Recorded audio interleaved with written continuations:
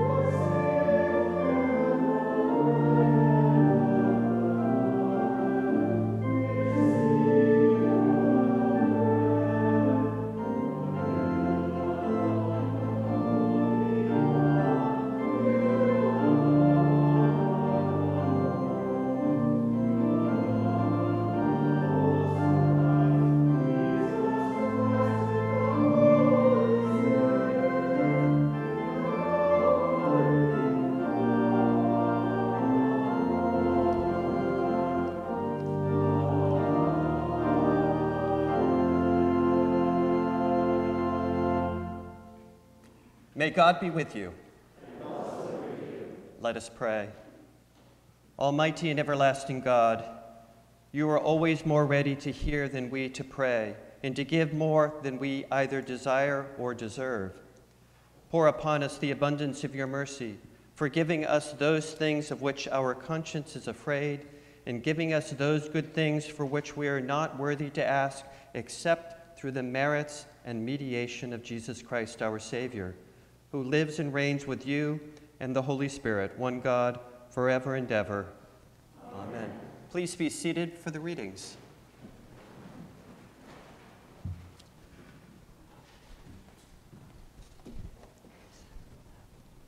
A reading from the book of Job. There was once a man in the land of Uz whose name was Job. That man was blameless and upright, one who feared God and turned away from evil. One day the heavenly beings came to present themselves before the Lord, and Satan also came among them to present himself before the Lord. The Lord said to Satan, Where have you come from? Satan answered the Lord, From going to and fro on the earth, and from walking up and down on it. The Lord said to Satan, Have you considered my servant Job? There is no one like him on the earth, a blameless and upright man who fears God and turns away from evil.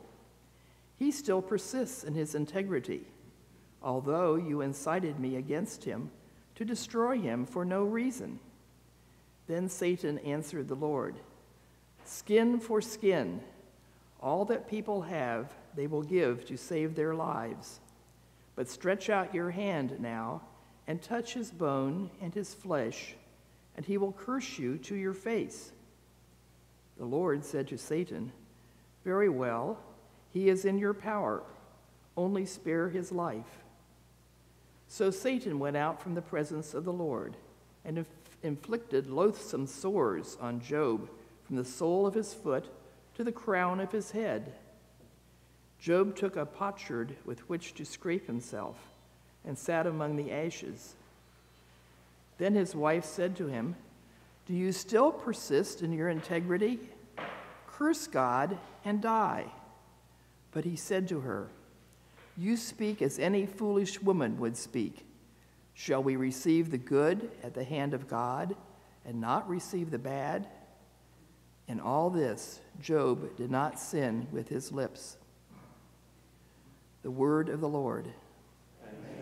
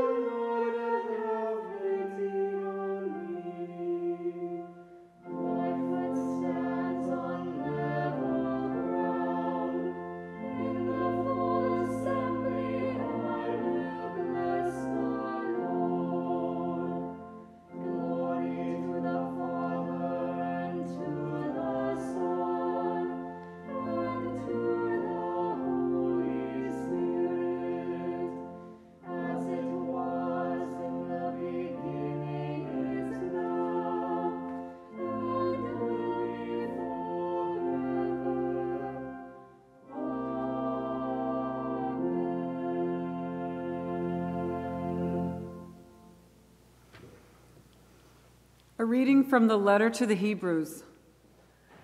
Long ago, God spoke to our ancestors in many and various ways by the prophets.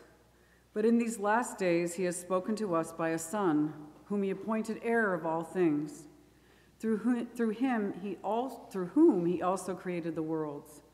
He is the reflection of God's glory and the exact imprint of God's very being, and he sustains all things by his powerful word. When he had made purification for sins, he sat down at the right hand of the majesty on high, having become as much superior to angels as the name he has inherited is more excellent than theirs. Now, God did not subject the coming world, about which we are speaking, to angels, but someone has testified somewhere. What are human beings that you are mindful of them, or mortals that you care for them? You have made them for a little while lower than the angels. You have crowned them with glory and honor, subjecting all things under their feet. Now, in subjecting all things to them, God left nothing outside their control. As it is, we do not yet see everything in subjection to them, but we do see Jesus, who for a little while was made lower than the angels, now crowned with glory and honor because of the suffering of death, so that by the grace of God he might taste death for everyone. It was fitting that God, for whom and through whom all things exist, in bringing many children to glory, should make the pioneer of their salvation perfect through sufferings. For the one who sanctifies and those who are sanctified all have one Father. For this reason, Jesus is not ashamed to call them brothers and sisters, saying, I will proclaim your name to my brothers and sisters. In the midst of the congregation, I will praise you. The word of the Lord. you.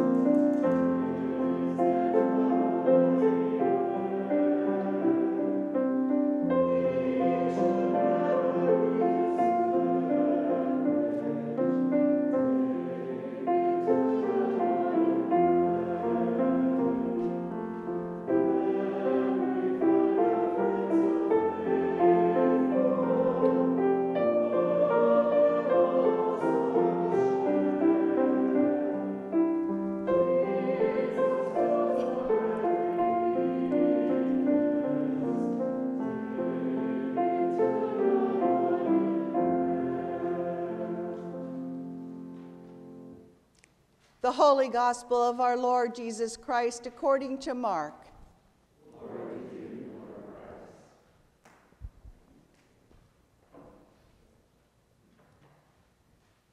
Some Pharisees came, and to test him, they asked Jesus, Is it lawful for a man to divorce his wife?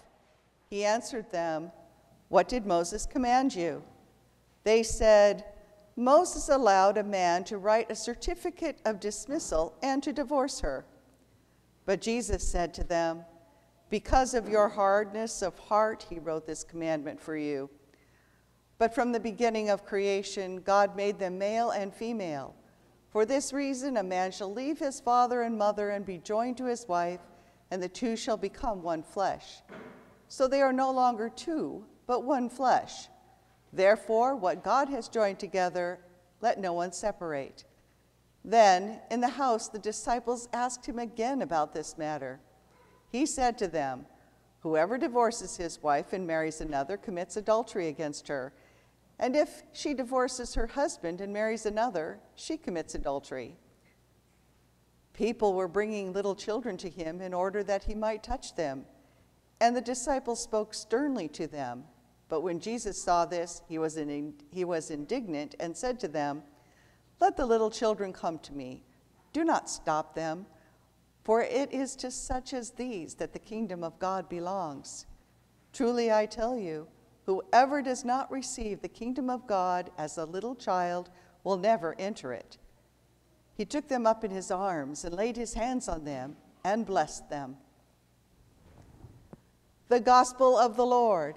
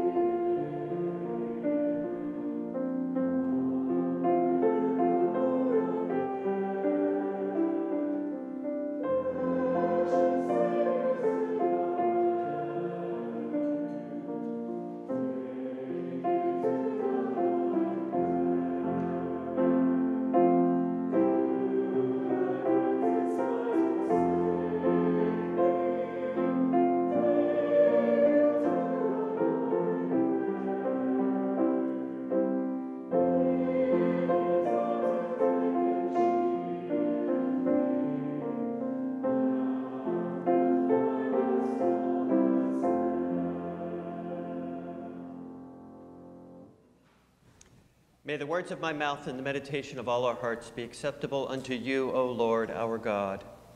Amen.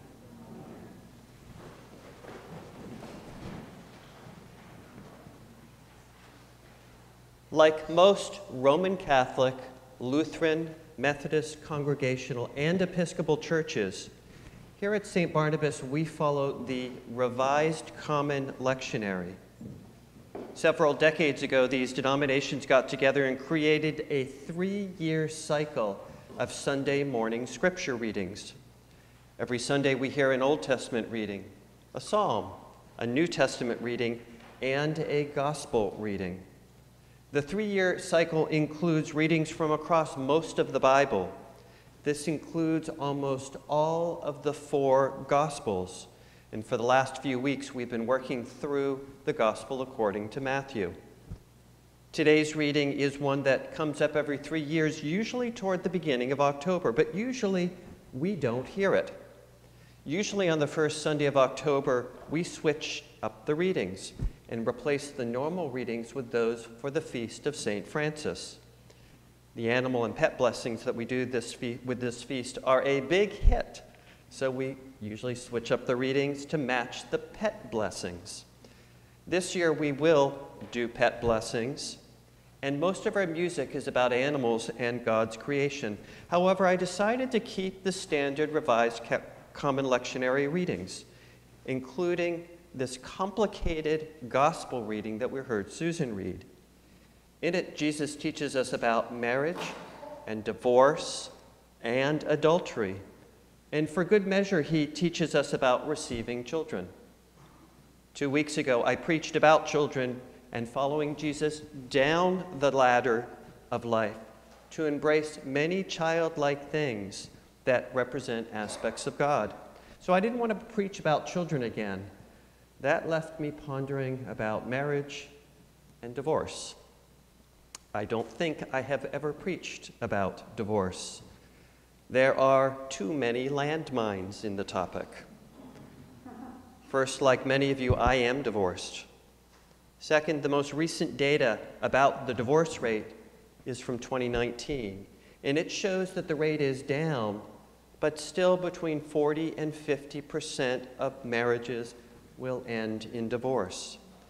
This means that those of you that are hearing this sermon have an incredible wide range of experiences with divorce. Third, some of you have never been married, either because you didn't want to be married or you never found the right person, or maybe you're widowed. So divorce may not feel directly relevant to you. And finally, as if there weren't already enough landmines on the topic, if you're like me, then, then divorce is one of the most painful experiences I have ever been through.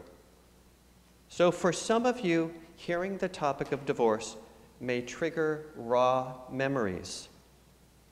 However, even with all of these landmines, I am going to talk about divorce for the next couple minutes. I think the first thing for us to understand is the gospel context in which Jesus is speaking.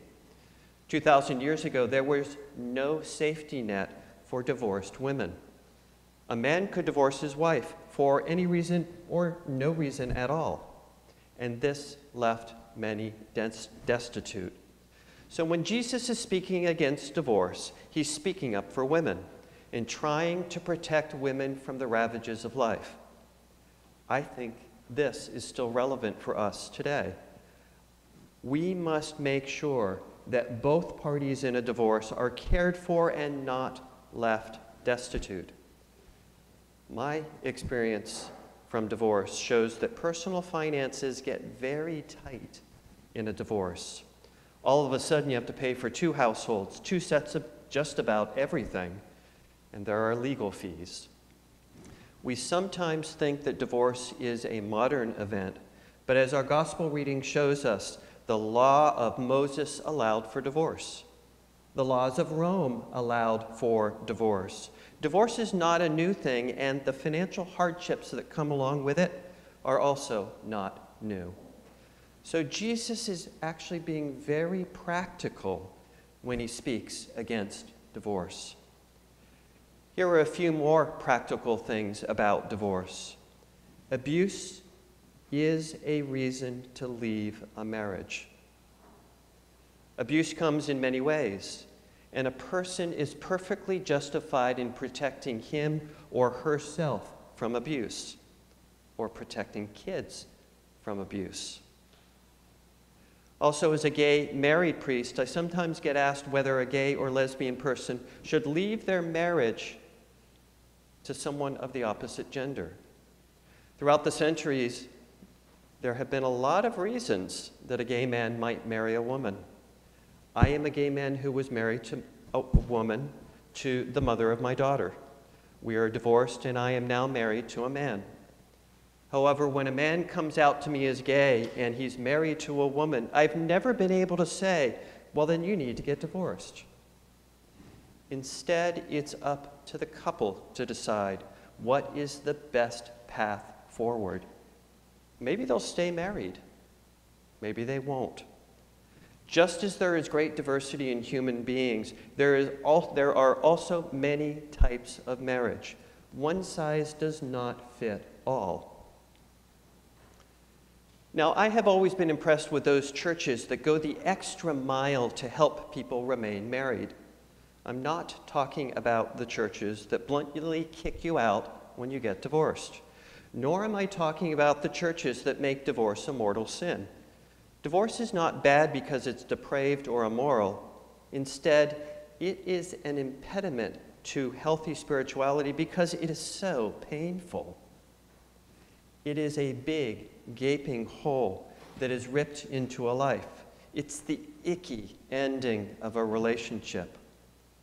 I define, as many of you know, I define spirituality as relationship relationship with God, others, and self, and the rest of non human creation. Spirituality is relationship.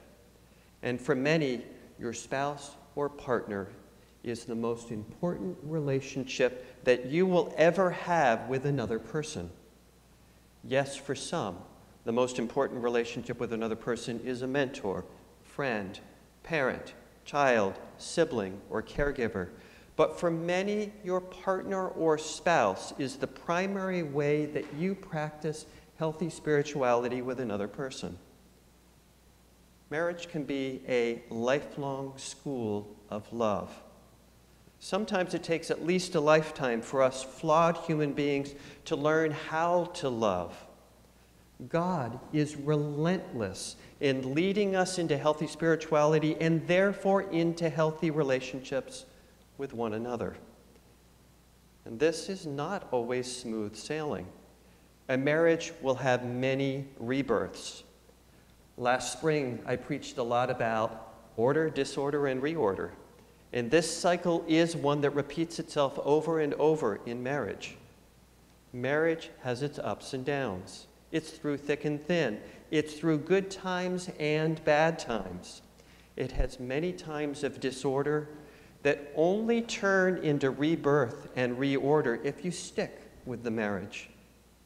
Yes, sometimes divorce is the way that one can move out of disorder and into reorder. Sometimes divorce is the path of healing of the heart. But in my observation, all marriages go through the cycle of order, disorder, and reorder. In marriage, you have life, death, and resurrection built in. As an aside, there is one thing that I've noticed about a person who is about to go through a divorce. It's the belief that being single again will bring health in just a few weeks. As I said earlier, divorce is a big, gaping hole that is ripped into a life, and it will take months, if not years, for that wound to heal. Divorce can be a journey to healing, but it's a long journey, not short. But again, I appreciate those churches and counselors that help a person stay with a marriage. I think we have all heard it said that money and children are the two biggest stressors in a lot of marriages. Good communication and conflict resolution skills are key to a healthy marriage and, quite frankly, to a healthy life. After being together for more than 15 years, Jeff and I still go to a marriage counselor. It's only every other eight weeks, or it's only every eight weeks, and it feels more like life coaching than marriage counseling. I appreciate churches and counselors that help us as we work to keep our relationships healthy, all of our relationships. Jesus had a lot to teach us about relationships. Jesus is relentless in leading us toward healthy relationships with God, other, and self. He is tireless in showing us how the false self and the ego get in the way of our life journey. We all have ego work to do to let go of our false self.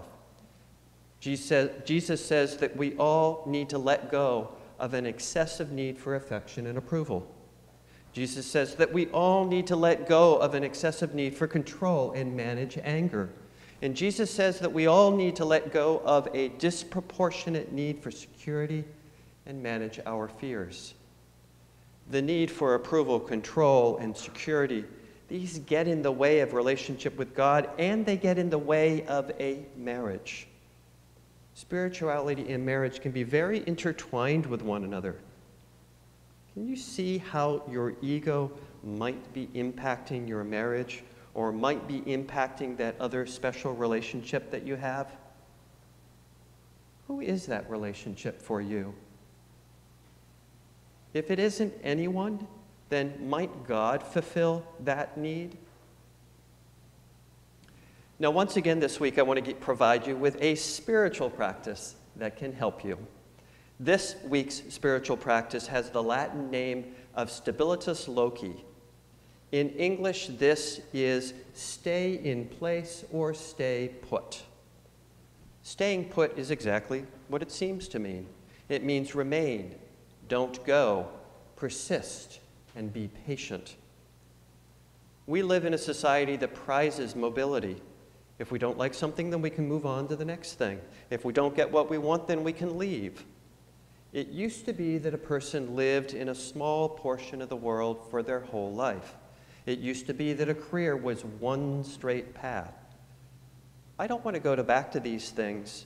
There can be some benefit to moving on. I think this is even sometimes true with a marriage. But as in many things, a blessing is a curse. Sometimes moving on is not the best path perhaps the most radical thing you can do is stay where you are. The spiritual practice of staying put allows us to let go of the idea that we have an alternative. We give up the possibility of withdrawing. As wise ones know, one of the characteristic aspects of egos is that it always wants alternatives available. Ego and false self reflect a mentality that always wants to keep an exit open, and therefore we can never come to complete surrender and acceptance. Through the spiritual practice of Stabilitas Loci, we learn to confront and surrender. As an important part of the mentality of this practice, we say, This is my place, this is my situation. In this practice, we say, What I already have is what I want to work with. Or we say, I will stick with my current place and situation as it develops, for better or for worse. The limitation that this practice imposes on one's ego proves to have another benefit a flourishing of self confidence and strength of mind to enable us to be in the situation we're in without reservations. What can seem claustrophobic or restrictive actually turns out to be vast and hospitable space. During COVID, we've all had a lot of staying put. We have found the deep inner liberations of giving up our freedom to come and go as we choose. When we can't fill up our life with outside experiences, then we must simply be with ourselves and with God. As Episcopalians, we believe that all of the Bible can be useful. So, how was all of that that I just said in dealing with a teaching of Jesus that has so many landmines? Once again, I believe these teachings are because God wants the best for us.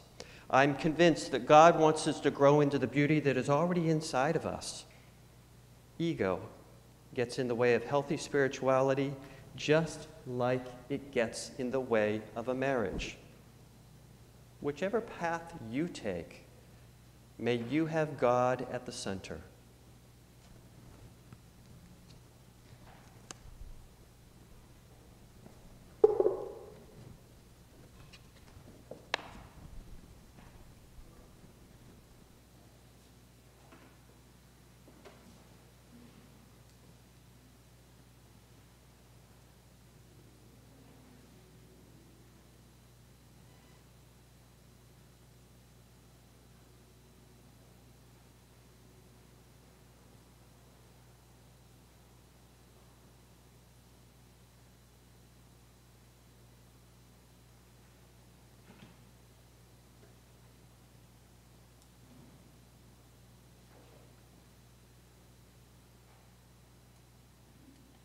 Please stand as you are able.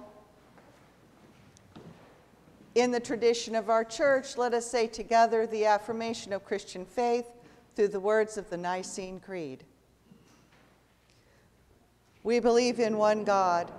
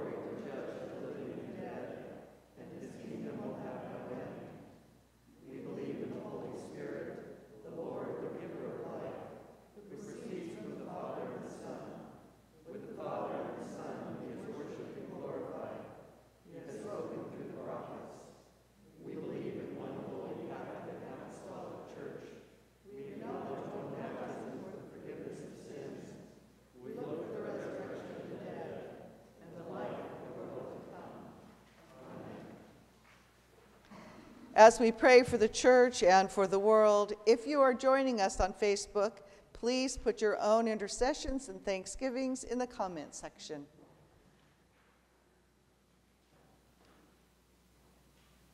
I ask your prayers for God's people throughout the world, for our Bishop Lucinda, for this gathering, and for all ministers and people. Pray for the church.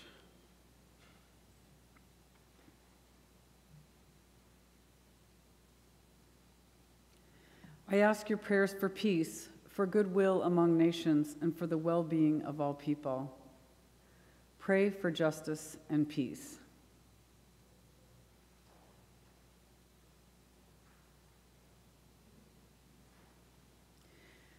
I ask your prayers for the poor, the sick, the hungry, the oppressed, and those in prison.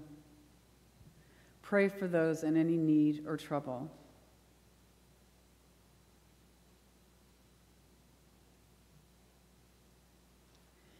I ask your prayers for all who seek God or a deeper knowledge of him. Pray that they may be pray that they may find and be found by him.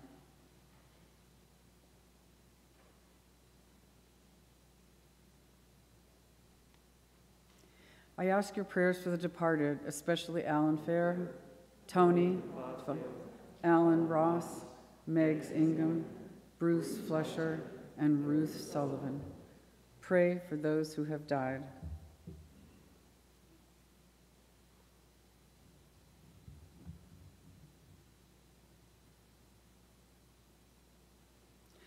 For Ashley Miller for healing. For Holly Height for healing. Alan Fisher, repose of soul. We pray for Janet Ross for healing. We pray for Cleo for healing. We pray for Sandra's mom for healing. We pray for Michael, who is dying. We pray for Molly for strength and courage. We pray for healing for Alicia. And we pray for healing for Kendra and a safe pregnancy.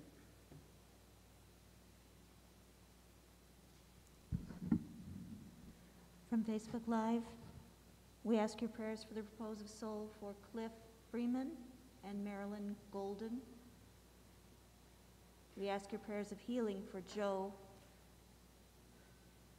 We ask your prayers of thanksgiving for the life of Bob Kime.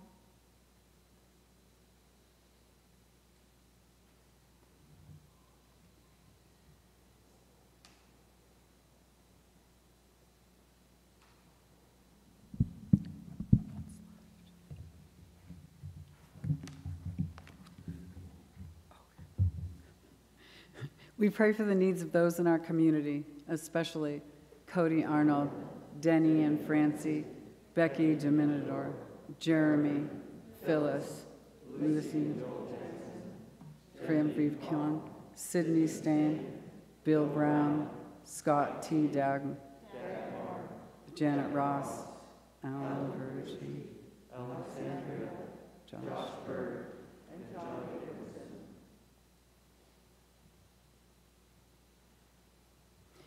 Please pray for those in every generation in whom Christ has been honored. Pray that we may have grace to glorify Christ in our own day.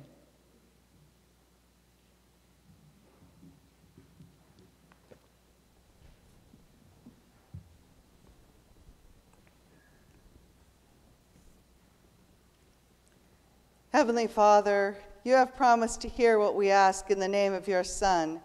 Accept and fulfill our petitions, we pray, not as we ask in our ignorance, nor as we deserve in our sinfulness, but as you know and love us in your Son, Jesus Christ our Lord. Amen. And now let us confess our sins against God and our neighbor. Most merciful God,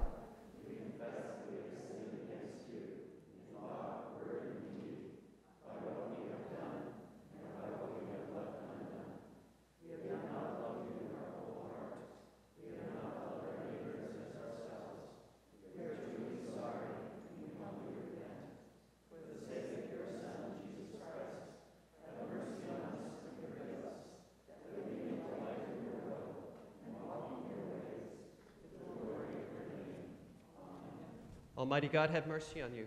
Forgive you all your sins through our Lord Jesus Christ, strengthen you in all goodness, and by the power of the Holy Spirit, keep you in eternal life. Please be seated for the peace. The peace of Christ be always with you. Let us safely share peace with one another while safely seated. And if you're on Facebook Live, go ahead and put the word peace or some other appropriate word in there as well. Also on Facebook Live, if you have a birthday, anniversary, travel, or other celebration, go ahead and that, put that in the comment section so that we can pray for it. Good morning. I'm Rob Dirksen, your vestry on call person today. Just a couple announcements. You may have noticed yellow tape is mostly gone. Um, so we are sort of counting on you to sort of figure out your spacing, to figure out what's going to work best space-wise. So imagine a bubble around you and try to stagger yourselves so that we have the most space. Um, Coffee hour, we're still looking for signups for coffee hour. There is a sign up sheet in the, in the Narthex, and you can email Carol if you'd like to do that. But um, um, if you want snacks afterwards, we need to sign up for that. And I do think we have coffee today, don't we? Mm-hmm. Yeah. Great.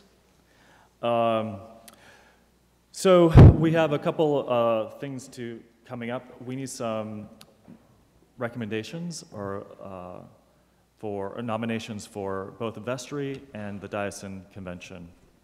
So there are four positions available for the vestry. There will be three three-year terms and one one-year term. And for the diocesan convention, we need five um, nominations. So if you would like to nominate yourself or would like to nominate someone, please let uh, us know. Um, also, there will be a memorial service this afternoon for Tony DeFazio at 3 p.m. here. And I think that, oh, oh, uh, also, there is the adult ed uh, class. It's every Thursday, and we are doing care of creation. And there is a Zoom link. Um, it's noted here in the bulletin. And please join us. That is from 7 to 8, and we'll be talking about environmental things and how we can participate to make this world a better place. All right, thanks. Good. Thanks, Rob. Um, we'll also be celebrating Lynn's brother Alan Ross on Thursday morning if you want to join for that celebration of life and death as well. We are in the last two months of this long season after Pentecost, and it means it's time to switch up our liturgy. So you may have noticed that we've already switched up a couple things. The Collect for Purity was in English rather than Spanish. We have Eucharistic, I'm sorry, we have Prayers of the People Form 2 instead of Form 1, which has those moments of silence in between. We are also about to go to these yellow booklets in a moment for our Eucharist. Um, and with that, we'll have some extra singing. Um, we'll be singing the Lord's Prayer. We'll have a fraction anthem at the end that we'll sing. When we're done with this yellow booklet, we then go back, and, and um, as you receive the bread and wine, we go back to the standard bu- um, bulletin for the communion hymn and the rest of the service. So we are flipping between two different things this Sunday, and we will do that for the rest of this season, which ends at the end of November with Advent. Hard to believe. Any other announcements? Yes.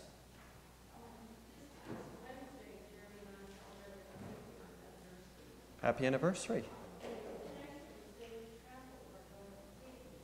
Katie, it's nice to have you back here. We also have a birthday in the bulletin um, for uh, Thomas Wilcock, who I imagine is related to Carol. Are there any other birthdays or anniversaries? What's going on, Sergio? And you turn 10, don't you? Congratulations. 10 is a good age. Yeah.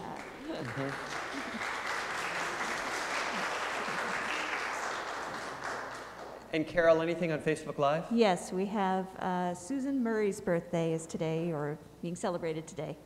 Good. So we have a birth, birthday prayers and a travel prayer that we're going to do as well on page 12 of your service bulletin. First, the birthday prayers. Gracious God, who made us in your own image, we thank you for life, love, and joy. Send your blessing upon these, your children, who have completed another year. Surround them with your grace, fill them with your love, and strengthen them to be your servants in the world. This we ask through Jesus Christ our Lord. Amen. and the anniversary prayer for Kathy and Jeremy. We thank you, gracious God, for the love you have implanted in the hearts of your servants and for your continued blessings upon them. Give them kind and loving hearts, always ready to ask forgiveness as well as to forgive. Support them through times of trial, strengthen their love for one another, and may that love empower them to be instruments of God's love in the world. This we ask through Jesus Christ our Lord. Amen. And now the travel blessing. Together, O God, our Heavenly Father, whose glory fills the whole creation, and whose presence we find wherever we go, preserve those who travel, surround them with your loving care, protect them from every danger, and bring them in safety to their journey's end. Through Jesus Christ our Lord.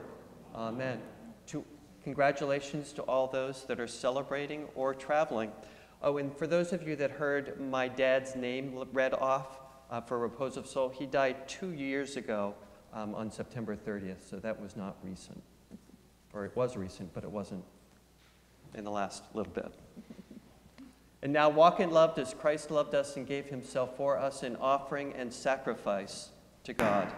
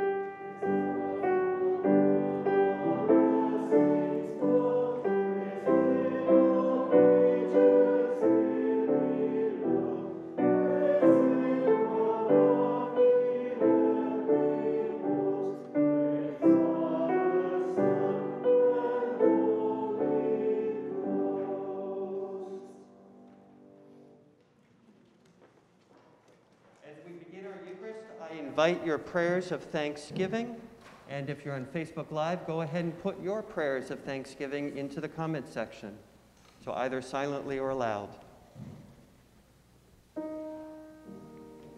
May God be with you all.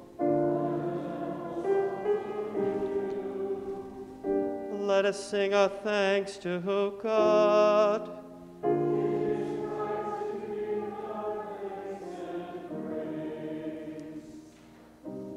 Blessed are you, Creator of the universe. From old you have led your people by night and day. May the light of your Christ make our darkness bright. For your word and your presence are the light of our pathways, and you are light and life of all creation. Amen.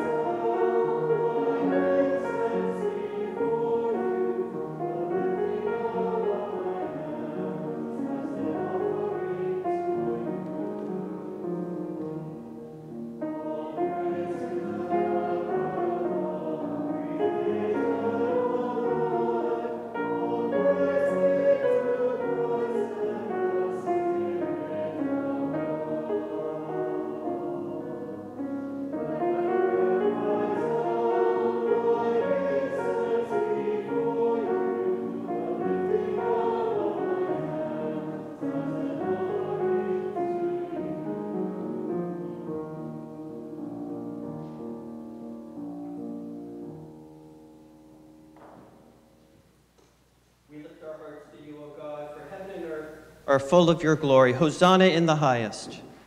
In your infinite love, you made us for yourself, and when we had fallen into sin and become subject to evil and death, you, in your mercy, sent Jesus Christ, your only and eternal Son, to share our human nature, to live and die as one of us, to reconcile us to you, the God of all. Jesus stretched out his arms upon the cross and offered himself in obedience to your will, a perfect sacrifice for the whole world. On the night he was handed over to suffering and death, our Lord Jesus Christ took bread, and when he had given thanks to you, he broke it and gave it to his disciples and said, Take, eat. This is my body, which is given for you. Do this for the remembrance of me. After supper, he took the cup of wine, and when he had given thanks, he gave it to them and said, Drink this, all of you. This is my blood of the new covenant, which is shed for you and for many for the forgiveness of sins. Whenever you drink it, do this for the remembrance of me. Therefore, we proclaim the mystery of faith. Christ has died, Christ is risen, Christ will come again. We celebrate the memorial of our redemption, O God, in this sacrifice of praise and thanksgiving. Recalling Jesus' death, resurrection, and ascension, we offer you these gifts. Sanctify them by your Holy Spirit to be for your people the body and blood of your Son, the holy food and drink of new and unending life in him. Sanctify us also that we may faithfully receive this holy sacrament and serve you in unity, constancy, and peace. And at the last day, bring us with all your saints into the joy of your eternal kingdom. All this we ask through your Son, Jesus Christ, by him and with him and in him. In the unity of the Holy Spirit, all honor and glory is yours, Almighty Father, now and forever.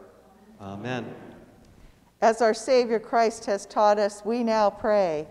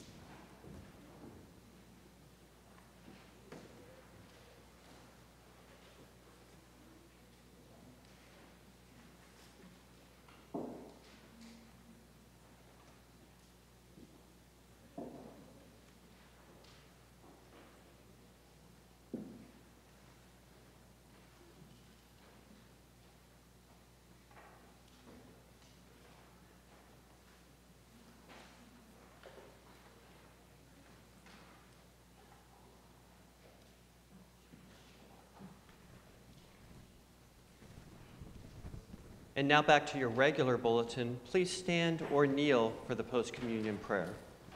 Page 16.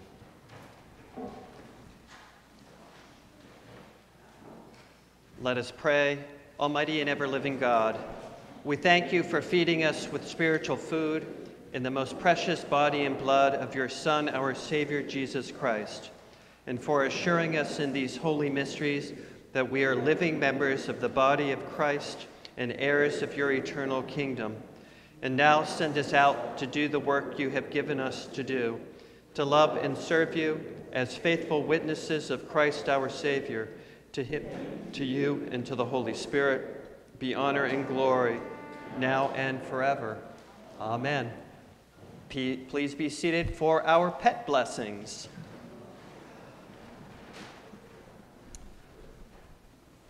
In the beginning, God created the heavens and the earth, and God saw everything that God had made, and behold, it was very good.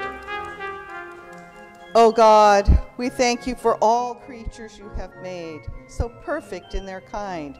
Great animals like the elephant and the rhinoceros, humorous animals like the camel and the monkey, friendly ones like the dog and the cat, working ones like the horse and the ox, timid ones like the squirrel and the rabbit, majestic ones like the lion and the tiger, and the gentle birds with their songs.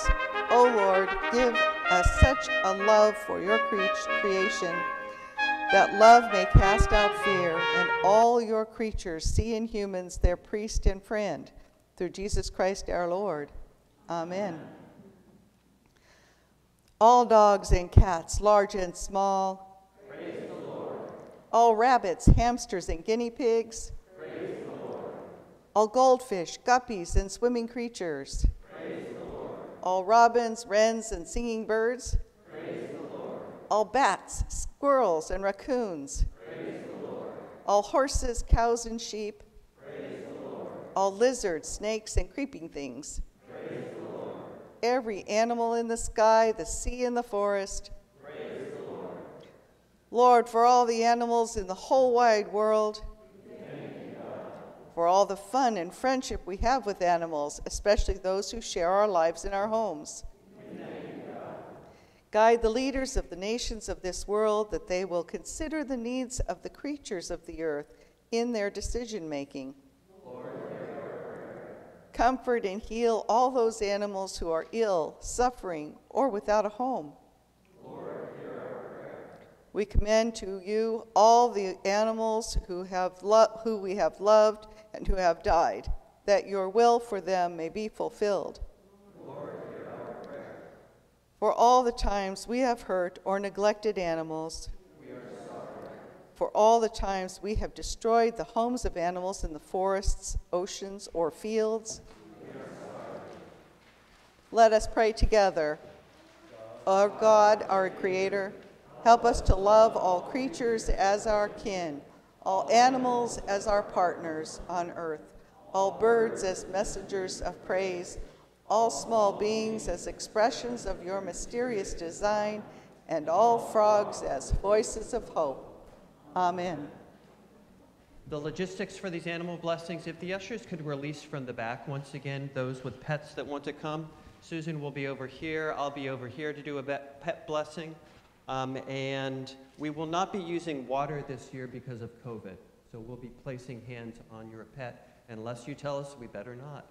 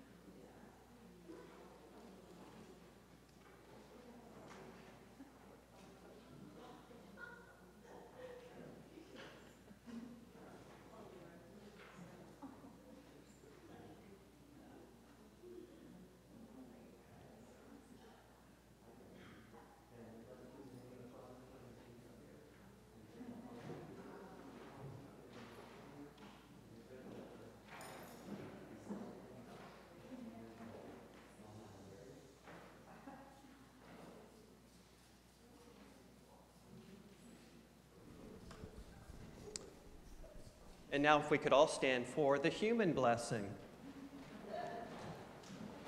Oh, and the blessing of all the animals that are on Facebook Live as well. Um, and the blessing of God Almighty, the Father, the Son, and the Holy Spirit be upon you and remain with you forever. Amen.